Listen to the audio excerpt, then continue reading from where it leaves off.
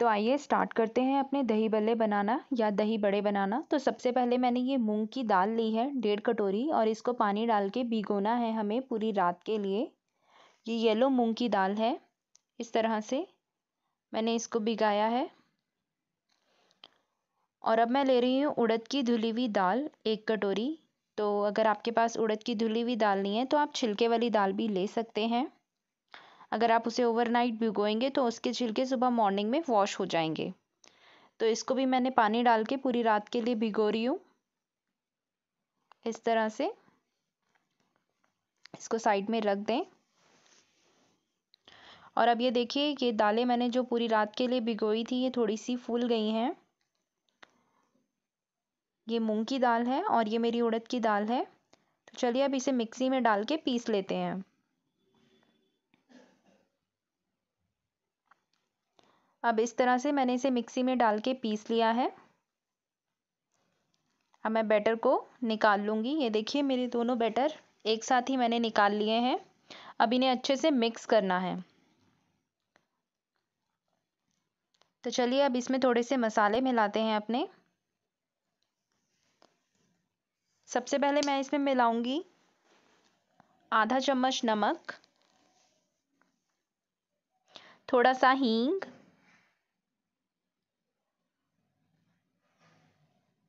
और आधा चम्मच जीरा।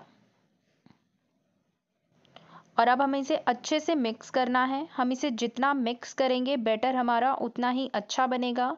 हमें इसे एक ही डायरेक्शन में मिक्स करना है। Cut and fold method use नहीं करना। तो अब आप इसे बहुत अच्छे से मिक्स करें। देखिए, मेरा बैटर मिक्स करते करते एकदम फ्लफ़ी सा हो गया है और दाल मैंने थोड़ी कुछ इस तरह से पीसी थी, दरदरी सी। अब मैं हाथ में थोड़ा सा बैटर लूँगी और इसे पानी में डाल के देखेंगे। ये एक ट्रिक है कि हमारा बैटर रेडी हुआ है कि नहीं। देखिए, अब ये बैटर पानी में डालने के बाद एकदम तैर गया है। इसका मतलब कि हमारा बैटर एकदम रेडी है। आइए, अब हम अपने भल्लों को फ्राई कर लेते हैं। तो ये तेल मैंने पहले से ही गर्म किया हुआ है। अब इस तरह से आपको बैटर अपने हाथ में लेकर भल्लों को फ्राई होने के लिए डालना है। आप अपने अकॉर्डिंगली अपने साइज़ के हिसाब से देख लें कि आपको किस साइज़ के भल्ले बनाने हैं। छोटे बनाने हैं, बड़े बनाने हैं नॉर्मल मीडियम साइज़ के बनाने हैं। वो आप अपने अकॉर्डिंगली देख लें। फ्राई करते समय आप ये ध्यान रखें कि कहीं आपके हाथ में गरम तेल ना लग जाए तो थोड़ा ध्यान से डालें। और गैस को हमें सिम पर ही रखना है भले हमें सिम गैस पर ही फ्राई करने हैं वरना वो अंदर से कच्चे रह जाएँगे। अगर आपने इनको तेज़ फ्लेम पर आ, फ्राई किया तो। तो इस तरह से इनको फ्राई कर लेंगे हम। अभी देखिए मेरे भल्ले एकदम फ्राई हो गए हैं तो मैं इनको निकाल लूँगी। इस तरह से मैंने इन्हें टिश्यू पेपर पे निकाल लिया है।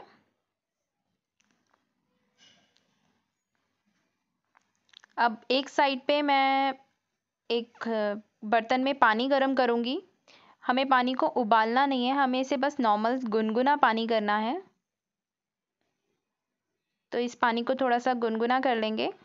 और देखिए, एक तरफ़ मेरे भले फ्राई हो रहे हैं। थोड़े से मैंने और डाल दिए थे फ्राई होने के लिए। तो देखिए, मेरे सारे भल्ले फ्राई होकर एकदम रेडी हैं। तो अब जो हमने पानी को गर्म किया था, ये सारे के सारे भल्ले उस पानी के अंदर डाल देंगे। इसको हमें डिप करना है पानी के अंदर। एक घंटे के लिए हमें इसे रखना है डिप करके। इस तरह से आप इसको हल्का सा प्रेस कर दें। और इन्हें रख दें एक घंटे के लिए। तो अब मैं ये फ्रेश दही ले रही हूँ और इसके अंदर मैंने ये दो चम्मच पाउडर शुगर डाली है। ये एक कटोरी के आसपास दही है। इसको मैं अच्छे से मिक्स करूँगी ताकि इसमें कोई लम्स ना रहें। और अब ये जो भले हमने भिगाए थे, अब मैं आपको दिखाती हूँ कितने सॉफ्ट हो गए हैं, ये देखिए। एकदम सॉफ्ट हो चुके हैं ये भले। तो चलिए अब इन्हें सर्व करते हैं। तो सबसे पहले मैं इसमें पापड़ियाँ रख रही हूँ। ये मेरे पास पहले से बनी हुई थी। उसके बाद मैंने भल्ले को इस तरह से हाथ में लिया है और इस तरह से इसको दबाया है ताकि इसका एक्स्ट्रा वाटर इसमें निकल जाए। और एक एक करके मैं इसी तरह से फोर टू फाइव भला इसके अंदर रखूँगी।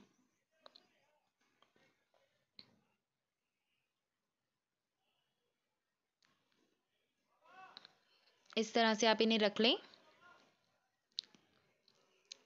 अब जो दही का मिक्सचर था, वो हम इसके अंदर डालेंगे अच्छे से। आप दही थोड़ा एक्स्ट्रा ही डालें क्योंकि भले थोड़ा सा दही को सोख लेते हैं तो थोड़ा एक्स्ट्रा दही डालेंगे हम इसके अंदर अच्छे से। उसके बाद ये मेरे पास पापड़ियाँ बनी हुई हैं तो मैं इसको हल्का सा ऐसे हाथ से क्रश करके इसमें तोड़ दूँगी। ये एक पापड़ी है, मैंने इसमें ऐसे क्रश करके डाल दी है।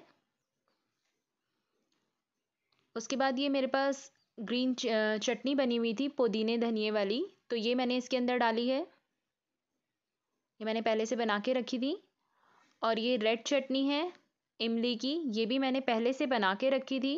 अगर आपको इसकी रेसिपी चाहिए तो आप मुझे कमेंट बॉक्स में बता दीजिएगा। उसके बाद ये रोस्टेड जीरा पाउडर है। और ये रेड चिली एंड सॉल्ट दोनों को मैंने कंबाइंड करके रखा था। उसके बाद मैं इसमें डालूँगी थोड़ा सा चाट मसाला।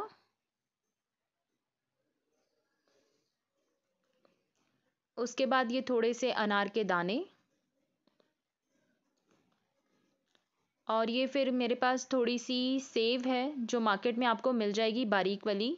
तो ये थोड़ी सी मैंने इसके ऊपर सेव डाली है। तो देखिए, मेरे भल्ले एकदम तैयार हैं खाने के लिए। अगर आपको रेसिपी पसंद आई हो तो कमेंट लाइक शेयर ज़रूर करें। मेरे चैनल को सब्सक्राइब करें। बेल आइकन पे भी प्रेस कर दें ताकि मेरी आने वाली वीडियोस की नोटिफिकेशंस आपको